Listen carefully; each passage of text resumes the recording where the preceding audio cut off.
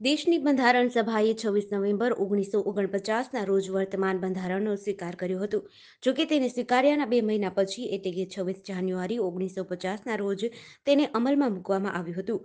જેના કારણે છવ્વીસ નવેમ્બરને બંધારણ દિવસ તરીકે ઉજવવામાં આવે છે. બંધારણીય મૂલ્યોને પ્રોત્સાહન આપવા માટે સામાજિક ન્યાય મંત્રાલયે ઓગણીસ નવેમ્બર બે હજાર પંદરના રોજ છવ્વીસ નવેમ્બરને બંધારણ દિવસ તરીકે ઉજવવાનો નિર્ણય લીધો હતો. દેશનો દરેક નાગરિક બંધારણીય મૂલ્યોથી વાકેફ હોવો જોઈએ. તેના ભાગરૂપે રાધનપુર ખાતે ભારત રત્ન અને બંધારણના ઘડવૈયા ડોક્ટર ભીમરાવ આંબેડકર સાહેબ પ્રતિમાને ફુલહાર પહેરાવી બંધારણ દિવસની ઉજવણી કરવામાં આવે છે. આ પ્રસંગે ઉપસ્થિત પૂર્વ નગરપાલિકા પ્રમુખ Babubhai K Makwana, Babubhai D Parmar Javantriwada Rameshbhai K Barot, Radhanpur શહેર પ્રભારી ભાજપ સોમાભાઈ ડી પરમાર, મનસુખભાઈ દવે વગેરે હાજર રહ્યા હતા. જીડીસી ન્યૂઝ સાથે દીપક સથવારા, પાટણ.